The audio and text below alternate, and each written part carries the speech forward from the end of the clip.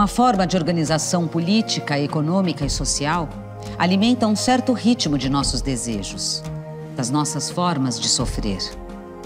Fantasias circulam e sensibilidades são reprimidas. Um circuito de afetos se naturaliza. Presos aos mesmos afetos de sempre, não somos capazes de criar novas formas sociais. Como promover uma transformação? Esta série do Café Filosófico procura refletir sobre esse desafio a partir de uma articulação entre psicanálise, filosofia e teoria social. A política é um instrumento para mudar o mundo. Mas não parece sempre utopia acreditar que podemos mover as imensas estruturas de poder? Esta infinidade de interesses econômicos? Talvez a primeira e possível mudança seja dos afetos. A revolução da nossa economia psíquica, feita no cotidiano dos nossos relacionamentos. Mudar o mundo não é só mudar a forma de distribuir o poder e o dinheiro. A transformação do afeto em nós é também uma forma de transformação política. Novos sujeitos e novos jeitos de estar no mundo produzem um novo mundo. O afeto aparentemente, ele não comparece como uma categoria na política. Deve aparecer, mas pelo menos não é na linha de frente da política.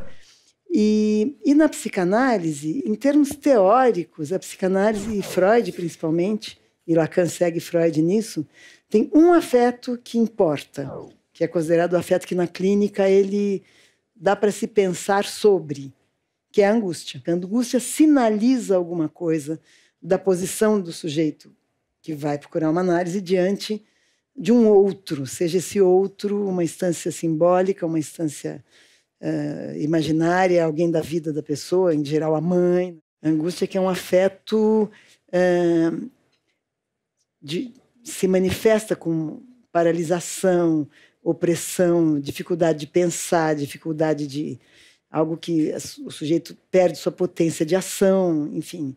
Se nós pegarmos, sei lá, Hegel, Heidegger, né, Kierkegaard, por mais que sejam filósofos distintos, eles têm uma coisa em comum. No caso do Hegel é muito claro, né, que, de uma certa maneira, há um certo momento onde a consciência precisa se angustiar. É necessário que isso ocorra para que ela possa até mesmo redimensionar o campo da sua própria experiência.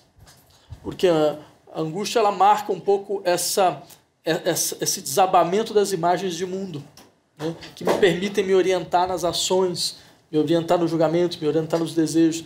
E, muitas vezes, para que você possa redimensionar o campo da experiência, é necessário que o mundo desabe. Só mediante o pôr a vida em risco, a liberdade se conquista e se prova que a essência da consciência de si não é o ser, nem o modo imediato como ela surge, nem o seu submergir-se na expansão da vida mas que nada há para a consciência que não seja para ela momento evanescente, que ela é somente puro ser para si. O indivíduo que não arriscou a vida pode ser bem reconhecido como pessoa, mas não alcançou a verdade desse reconhecimento como uma consciência de si independente. Então, é, isso me levou um pouco a, a pensar se, por trás desse tipo de reflexão, não existiria uma percepção muito precisa da psicanálise de que talvez os afetos que nos transformem tenha a característica desse, desses, dessas ambivalências, desses afetos ambivalentes. E você acha que a angústia é um afeto ambivalente? Eu acho, eu acho que a angústia ela tem uma, uma, uma tradução muito interessante dentro do pensamento do Freud, que é a ideia de desamparo. Né? É, é quase a primeira, primeira concepção de angústia Exatamente. ligada ao desamparo. Né? É como se a primeira ideia da angústia seria a angústia do sujeito, digamos, quase do bebê nu diante do mundo, sem a mãe ali, né? E acho que todos nós, durante a vida adulta, em qualquer momento, sem ser mais bebê, já se sentiu assim. Né? De repente, é, não, tem, não tem quem cuide de mim, não tem quem me proteja. Esse ponto que às vezes pode ser o ponto de chegada numa análise, mas necessariamente tem que ser o ponto de saída, de acordo com Lacan. Que você faz um percurso longo e para você completar uma análise no sentido mais, não de quem, ah, já estou me sentindo melhor, vou embora. Muita gente faz isso, e é, é legítimo. Mas o, o que o Lacan chama o atravessamento do fantasma, que seria o fim de uma análise, seria o desse sujeito que no começo e durante um longo tempo tenta adivinhar o que o analista quer que ele diga, tenta, mesmo que ele esteja sofrendo, tenta receber do analista alguma confirmação de que ele está no caminho certo, ou de que ele é bacana, ou de que ele está agradando, enfim. E o analista vai aos poucos se se retirando no sentido não da presença analítica, mas desse lugar de quem confirma, não, você está legal, você está indo bem, né? Até que uma hora o sujeito nesse lugar onde ele sempre pôs um grande outro, olhando para ele e aprovando, ele se encontra com um vazio. E esse vazio é o lugar do analista. E diante desse vazio, ele atravessa, aí ele atravessa a angústia. Aí, aí talvez entre o desamparo nesse sentido mais é, mais ligado ao narcisismo. Ninguém está aqui para me dar uma indicação do que, que eu devo ser para eu agradar o outro. Uhum. Né? E nessa hora, quer dizer, essa travessia de angústia, que é uma travessia difícil, é a condição de liberdade daquele que é o, o melhor é, de todas as possibilidades de uma saída de análise, essa é a melhor possibilidade. Não quer dizer que o sujeito vai sair feliz para sempre, não quer dizer que necessariamente ele vai encontrar marido ou esposa, mas quer dizer que ele vai deixar de estar submetido a um outro imaginário para quem ele voluntariamente escraviza a sua vida. Uhum. Né? Servidão voluntária uhum, claro. né? É, faz parte da neurose. A palavra alemã para desamparo tem uma concretude que essas palavras alemãs às vezes têm, que é muito interessante, que é Hilflosigkeit, quer dizer, que é a condição de estar sem ajuda. Você está sem ajuda quando você não sabe como o outro reage. Né? Uhum. Então você não consegue organizar sua expectativa a respeito do comportamento do outro. Você está sem ajuda quando você está diante de acontecimentos que você não saberia como prever. De uma maneira ou de outra, ele obriga você a sair dessa situação e pensar em outra situação para conseguir lidar com ele. Da mesma maneira como uma, matura, uma certa maturação psíquica passa pela afirmação do desamparo, né, uma possibilidade de ação social também passa pela afirmação do desamparo. Né? Quer dizer, claro que se a gente falar aqui em desamparo, a primeira coisa que vai, vão, vão pensar é, bem, uma pessoa desamparada procura amparo. Então, a ação vai ser uma ação de uma demanda de amparo, uhum. né? como quem faz uma demanda de cuidado. Né? E essa questão é muito interessante porque a demanda de cuidado é a demanda antipolítica por excelência. Porque política não é uma questão de pedir cuidado ou não. Porque é uma demanda como essa, uma demanda na qual você já coloca de antemão que tem alguém que tem autoridade, né, que pode então ouvir o que você tem a dizer uhum. e que vai saber o que fazer com a sua demanda. Né? Por que, que ela é antipolítica? Porque a, a, todas as demandas políticas são, antes de mais nada, demandas por, por modificação na estrutura do poder. E uma demanda de cuidado é uma demanda de confirmação da estrutura do poder. Né? Então, nesse sentido, não se trata de falar de, uma, de um do desamparo como uma demanda de amparo, uma demanda de cuidado. Porque isso é uma maneira de você eliminar o desamparo. Claro. Exatamente. Uhum. Mas talvez exista uma ideia interessante no Freud que é a necessidade de você afirmar o desamparo, né? como uma condição exatamente para se livrar de uma certa servidão, né?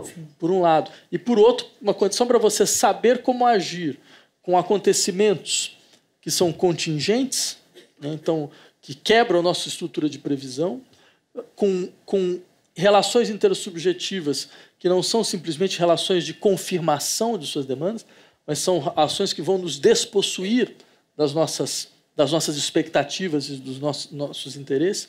Então, ou seja, nesse sentido, talvez fosse interessante começar a pensar política a partir desse tipo de afeto. Quando você falou saber como agir, né? porque, é, claro que seria um pouco otimista demais pensar que numa situação uh, em que a política está no seu lugar e não nesse lugar que ela está hoje, de uma mistura de compre um candidato melhor ou uh, nós vamos fazer você feliz, essa bobajada que a política foi se tornando, mas não sei se é possível esperar, mas que a gente sempre saiba como agir.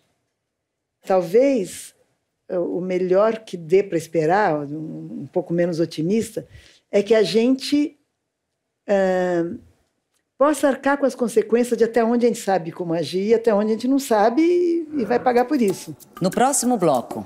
Dois afetos normalmente nos limitam: né? o medo e a esperança.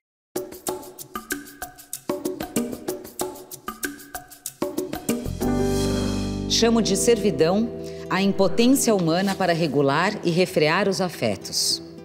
Pois o homem, submetido aos afetos, não está sob seu próprio comando, mas sob o do acaso, a cujo poder está a tal ponto sujeitado que é muitas vezes forçado, ainda que perceba o que é melhor para si, a fazer, entretanto, o pior. Se estamos sempre sob o domínio e o governo dos nossos afetos, como então reconhecer quais afetos nos movem e quais nos paralisam? É possível libertar-se dessa servidão afetiva? Nós acabamos nos deixando colonizar por uma imaginação limitada. Limitada, limitada talvez por quê? Porque ela está muito afetada por certos afetos que são os afetos que nos limitam. Né? Dois afetos normalmente nos limitam: né? o medo e a esperança. Hum. Né? A esperança? A esperança também. O que, que os dois afetos têm de comum? Eles são dois afetos que se organizam através de um certo tipo de relação ao tempo. Uhum. Né? E é um tempo marcado pela ideia de expectativa. Né? Sim, é, é Um pouco a ideia do Spinoza. O medo, na verdade, é a expectativa de um mal por vir. Uhum. Uhum. A esperança, a expectativa de um bem por vir. Mas o que significa um tempo marcado pela expectativa? É um tempo no qual eu projeto certo? o que deve ocorrer, porque isso me permite saber como agir. Né?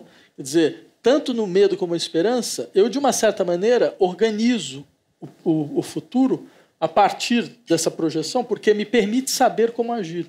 É, por que esses dois afetos são tão bloqueadores? Porque é necessário, hoje, mais do que nunca, ter capacidade de agir sem saber inicialmente, certo?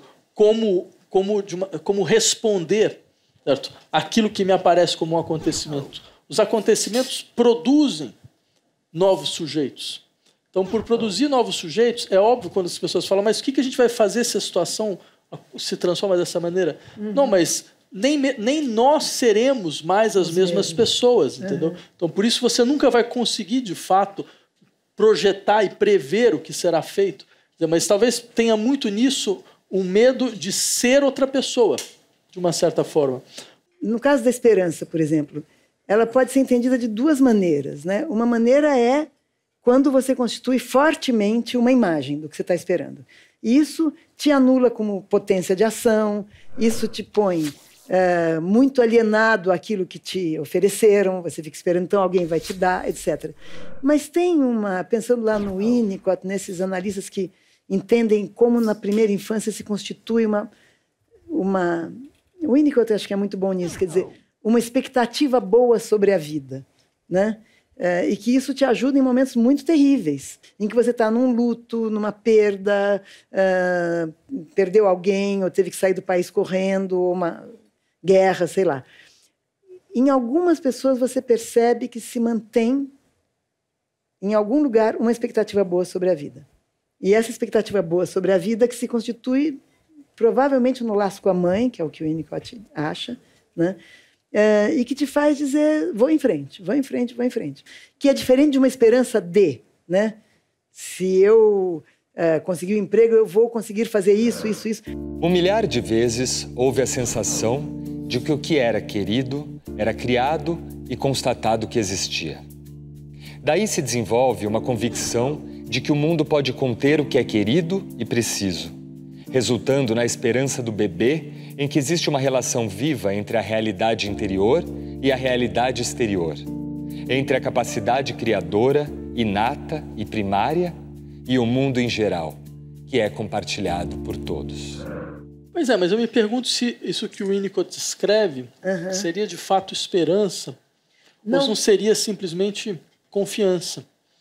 E acho que talvez seria importante fazer uma distinção uhum. entre esperança e confiança, porque são dois tipos de afeto em relação ao tempo que são distintos. Né?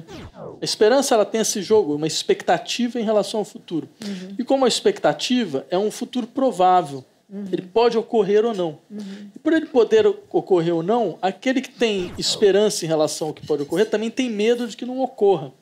Então é impossível você ter esperança sem ter medo.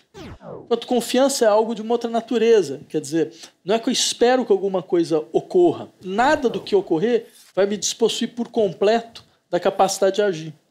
Né? Então, acho que. Aí é confiança. Aí é confiança. Aí é confiança. Né? Dizer, não é que eu. Você percebe? Eu não preciso projetar. Né? Uhum. Eu simplesmente sei, nada do que, do que ocorre nunca vai, vai bloquear por completo a minha capacidade de agir, de recomeçar, de refazer. Estou pensando agora nas investigações da Comissão da Verdade. Eu recebi muitos livros autobiográficos descritos por sobreviventes de tortura.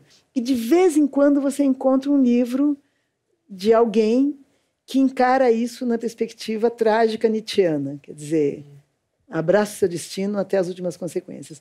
Não no sentido até as últimas consequências, não é o cara que uh, se deixou torturar e ficou desafiando o torturador, não é isso. É dizer, bom, eu sabia o que eu estava fazendo. Né? Uh, tem um livro de um espanhol, o Samprum, né, do Samprum. Ele foi para o campo porque ele era comunista. Não, não sei se ele é judeu ou não, mas o motivo é que ele era comunista. E eles estavam no trem, indo para o campo de concentração, e disse que tinha um, um que estava ali e que se lamentava o tempo todo. Pensando um pouco nesse que esperava que fosse reconhecido, né? Por que, que fazem isso com a gente? Como é que fazem isso com a gente? O que, que eu fiz para merecer isso? O tempo todo. E um outro, que também não era ele, ele se conta só como diz: essa era uma das possibilidades uh, em relação ao que nós estávamos fazendo. A gente sabia que isso era uma das coisas que poderia acontecer. Para de reclamar. Mas acho que aí define um pouco essa diferença do que você está dizendo. Né? Um talvez fosse aquele esperançoso, né, que achava que tudo ia dar certo, que tudo ia. Eles eram comunistas, achavam que, que iam conseguir mudar o país, etc.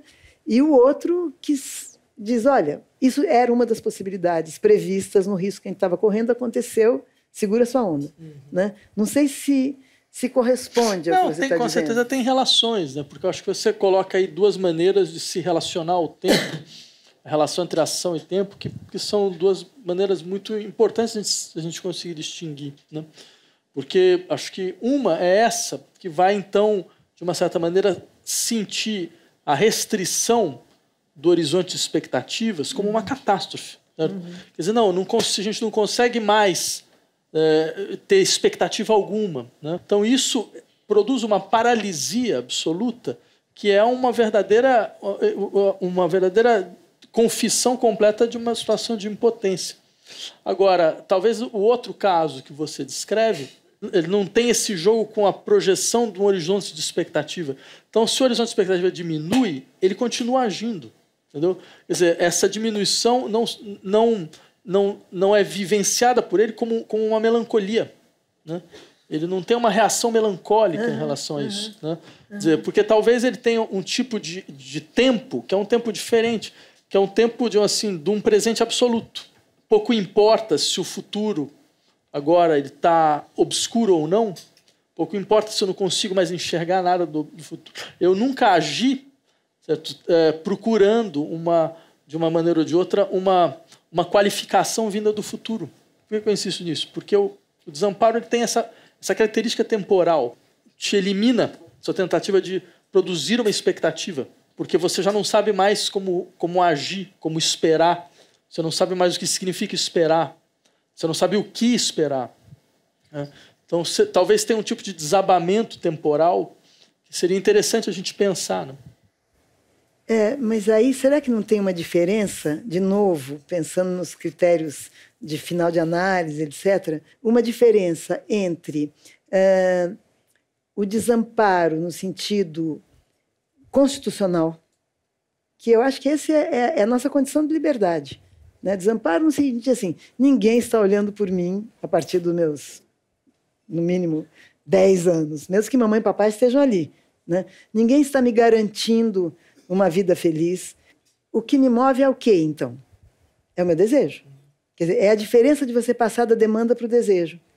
Porque, pensando em análise, o, o paciente em análise ele vem sofrendo porque ah, o jeito que o neurótico escolhe.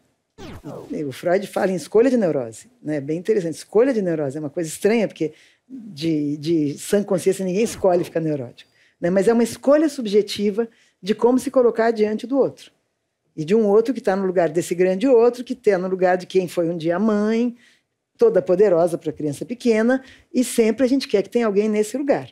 As religiões fazem esse papel, colocam Deus nesse lugar, os fanatismos políticos colocam uma liderança nesse lugar, a paixão coloca alguém nesse lugar, que é, que é a condição mais opressiva da paixão. A paixão tem coisas maravilhosas, mas uh, quando o, o ser amado vira esse outro, que é quem vai avaliar o meu valor, quem avalia se eu presto ou não para viver nesse mundo, ou se além de prestar para viver, eu presto um pouquinho mais do que isso e isso eu tenho um valor. Então eu mereço felicidade, alegria, amor, né? receber amor. Então, nesse sentido, o neurótico ele é permanentemente um escravo à procura de um mestre. O que é agir pela demanda? Não é?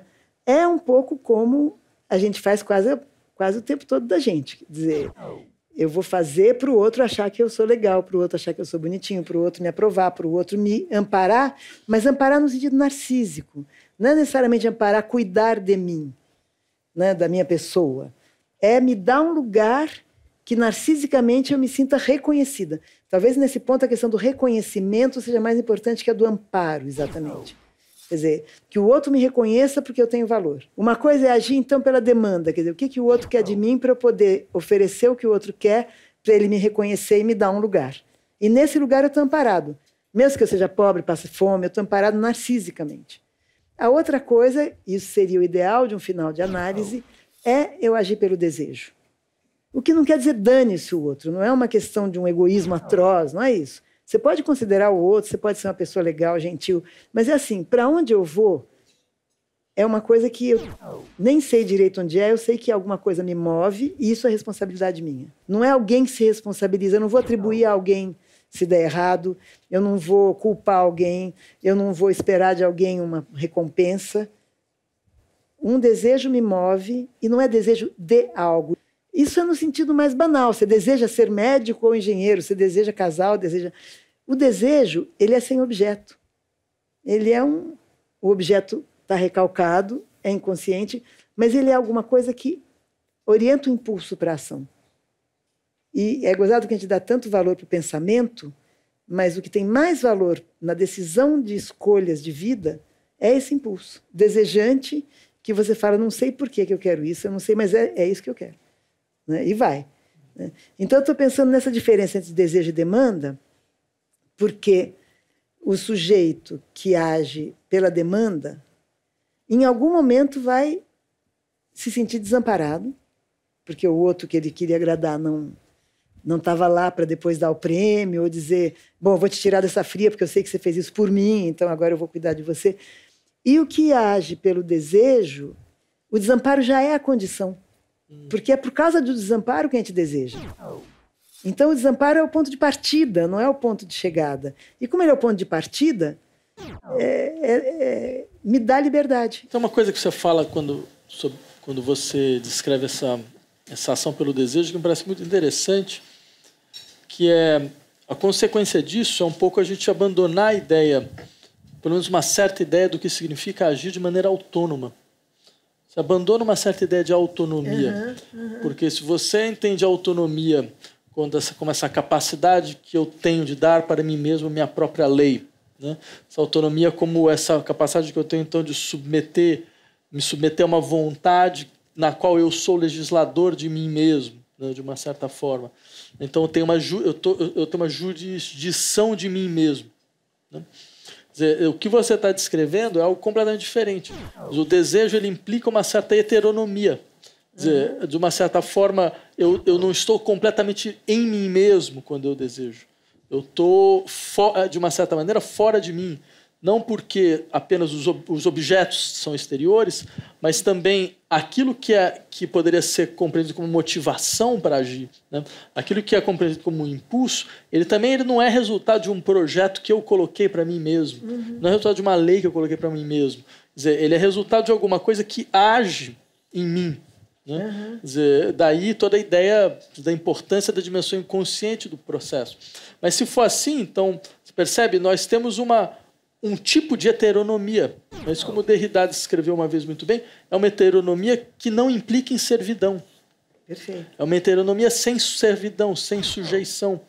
E talvez, de uma certa forma, todas as nossas relações verdadeiras nunca são relações nas quais nós conservamos nossa autonomia. Elas são todas relações que, que, nas quais nós entramos numa posição de heteronomia, mas uma heteronomia que não implica em servidão. No próximo bloco. O reconhecimento é o do vizinho, né? Já não é mais o do líder. Quer dizer, o vizinho tem que ver que eu consegui um carro melhor que ele.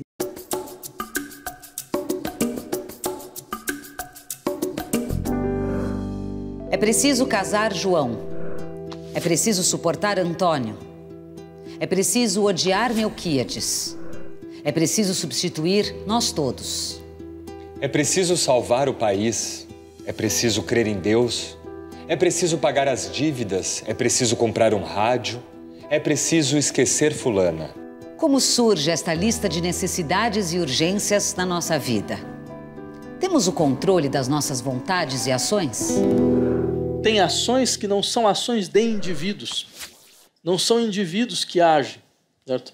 Não são indivíduos que decidem a partir dos seus sistemas de interesses, dos seus sistemas particulares de interesse. Quer dizer, se nós quisermos entender esse, esse tipo de ação, que são essas ações movidas pelo desejo, isso em todas as dimensões, seja a dimensão da, da, da experiência intersubjetiva, seja a dimensão da experiência política, porque isso também funciona da mesma maneira, nós não podemos continuar imaginando que são os indivíduos que agem. Uma sociedade de indivíduos. Uma sociedade de indivíduos. Então, exatamente. Então, até diria, uma das maiores patologias desse sentido que nós podemos imaginar é, é acreditar que, que a, o vínculo social é constituído entre indivíduos. Seria legal você conceituar um pouco mais indivíduo, né? Como é que a gente define o um indivíduo? Diria, você tem três atributos fundamentais, né?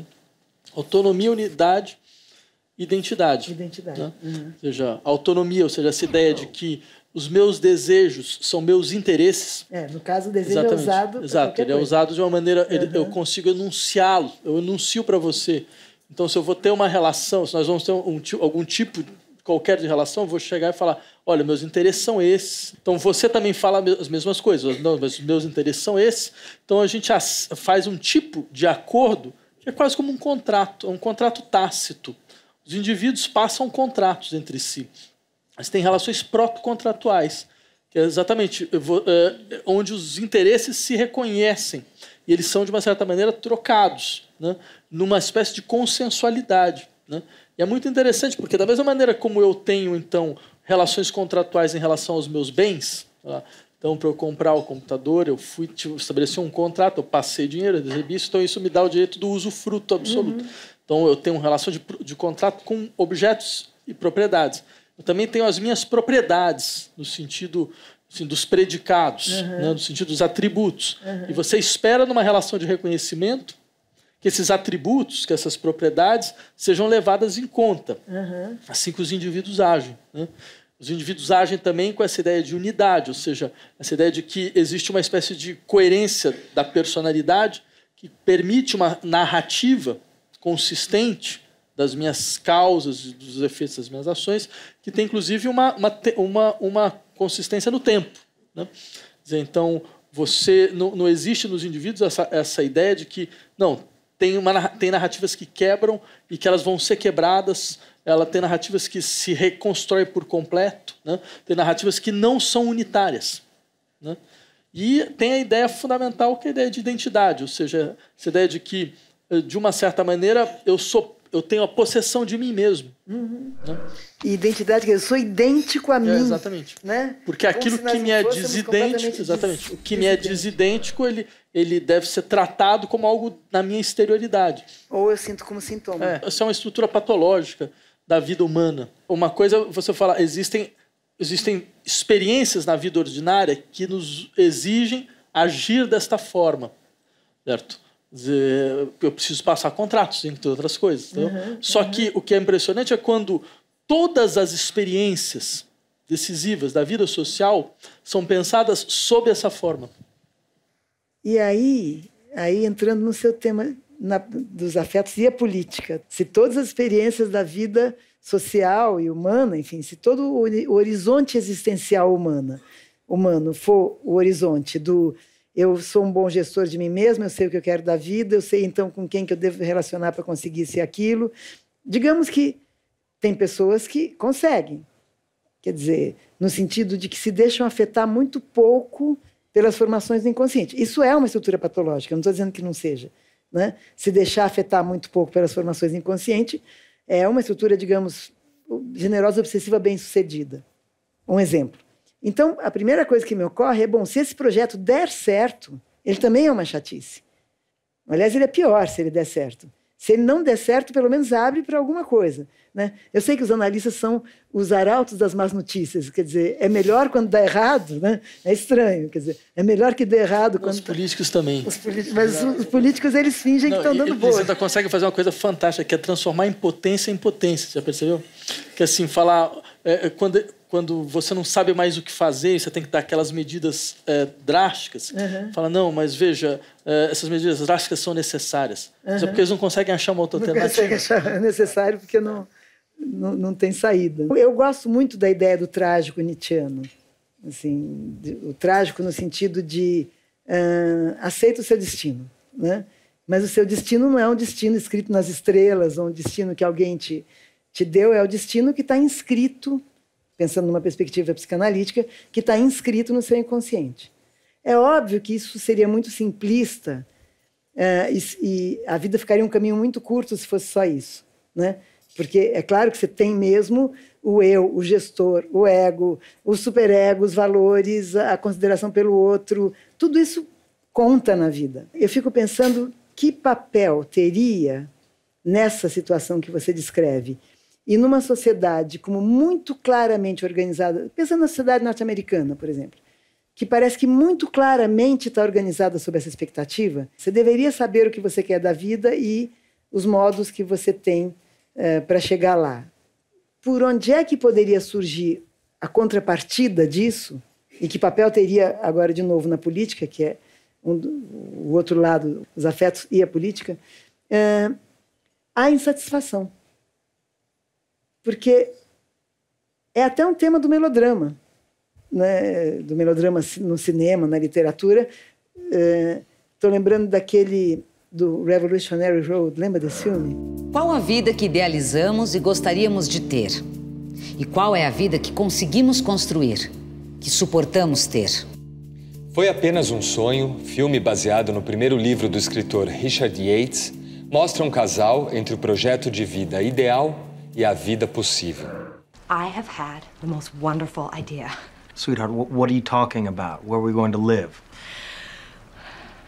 Paris. You'll have time to find out what it is that you actually want to do. É muito interessante porque tem uma perspectiva trágica é, pelo final do filme, etc., justamente desse projeto de vida que é o antitrágico pensando no sentido do Nietzsche. Quer dizer, é o antitrágico, é para tudo ficar arrumadinho e dar certo até o fim. Né? Seja lá, o fim seria então morrer velhinho, né? reconhecido, seja lá qual for o reconhecimento, porque me parece que numa situação assim, em que a expectativa do que é que se espera da vida é tão horizontalizada, o, o reconhecimento é o do vizinho, né? Já não é mais o do líder, Quer dizer, o vizinho tem que ver que eu consegui um carro melhor que ele. É, então, eu, eu, não tem mais uma, uma estrutura de expectativas que organiza a sociedade no sentido de um ideal público. Então, o reconhecimento passa a ser isso. E, e vira, talvez, essa coisa horrorosa da disputa entre vizinhos, né? do narcisismo das pequenas diferenças, uhum. né? usando essa expressão freudiana também. Então, eu fico pensando, qual é o papel de algo que a gente não está nomeando aqui, mas acho que entra no que você diz, que é a insatisfação. Na política, como é que quais são as repercussões? Da, eu não estou falando da frustração dos que foram mal sucedidos. Disso a gente também pode falar, né? Esperava isso, isso, isso e não consegui. Mas e a insatisfação dos bem-sucedidos?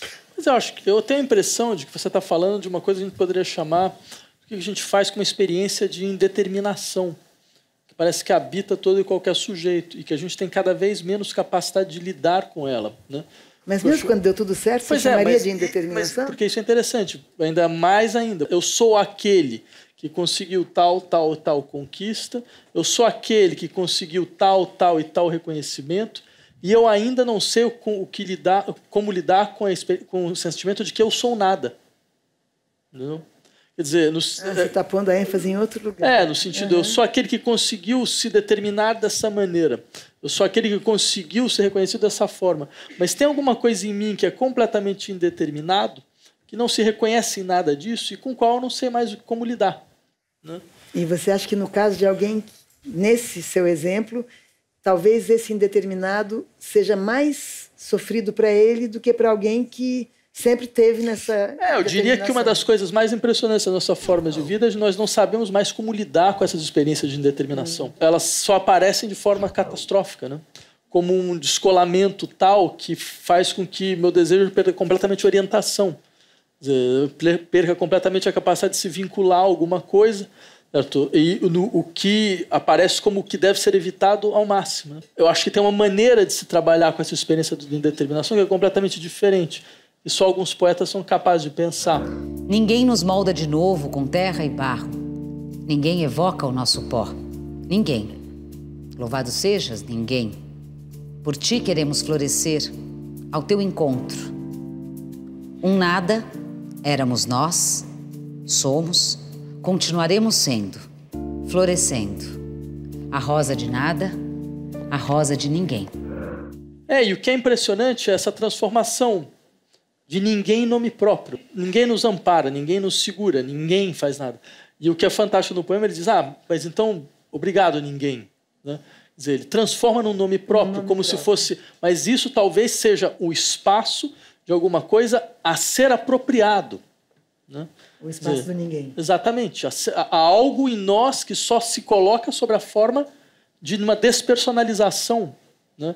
radical há uma, há uma, há uma impessoalidade que talvez seja o caso. Nós podemos nos perguntar por que, que nós temos tanta dificuldade em lidar com ela.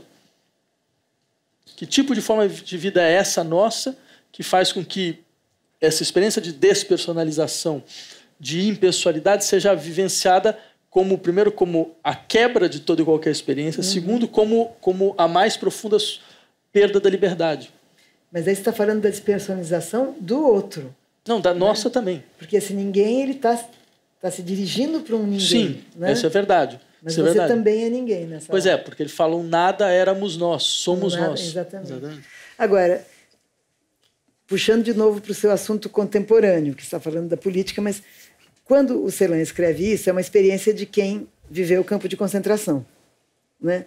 Então eu fico pensando, é cruel, enfim, não quero elogiar de jeito nenhum a experiência do campo de concentração, mas que se você está numa experiência de um tal desamparo como um campo de concentração, é mais fácil você se ver que o outro, que é um ninguém que está lá, esse abandono radical, esse desamparo radical, e só te resta então obrigado ninguém, a rosa de ninguém, etc.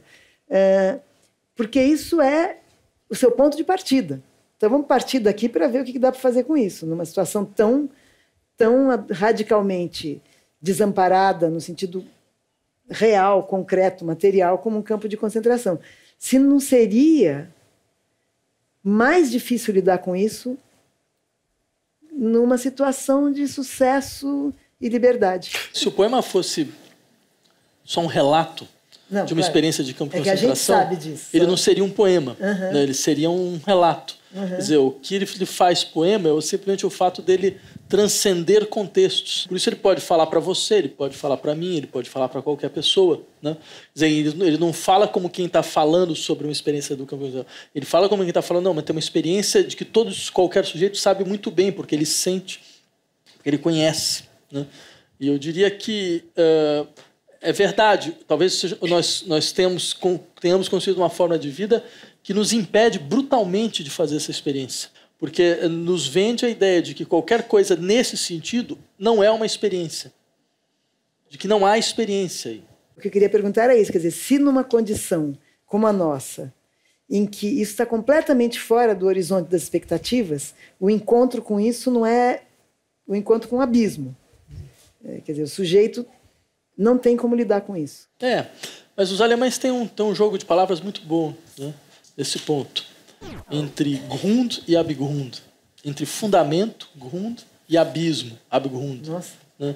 Ou seja, muitas vezes você ir em direção ao fundamento é você ter a, ter a experiência de alguma coisa que abisma o que era até então fundado, entendeu? Que eu diria que, voltando até à discussão que você falou sobre o trágico, o trágico, sei lá, para os gregos, nunca foi simplesmente a experiência do, daquilo que, que nos entristece profundamente, e mas uma necessidade do que nos entristece. Uhum. Não. Trágico, na verdade, era simplesmente a consciência de que a experiência da existência é uma negociação entre coisas que eu não controlo. Uhum, claro. Né? Esse é o trágico. Exato, esse é o trágico. Uhum. Porque a gente foi, foi, foi é, deu uma, uma configuração do trágico como, como aquilo que, de uma maneira ou de outra, está marcado por todas as paixões tristes. A gente misturou tragédia e melodrama. Exatamente. Né? exatamente. Sendo que, na verdade, a ideia era outra. Trágico é você estar tá nessa posição na qual você vai ter que saber negociar com aquilo que você é incapaz de controlar completamente. Né? Aí... Então, por isso que os heróis eram trágicos, porque eles uhum. tinham, que, tinham, que, lidar, de uma certa maneira, com uma experiência destinal que lhes aparecia, que não era exatamente o seu produto. No próximo bloco. Nós criamos mundos onde acontecimentos são completamente impossíveis. Não porque eles não ocorrerão, mas porque nós, nós desenvolvemos toda uma, uma capacidade de não percebê-los.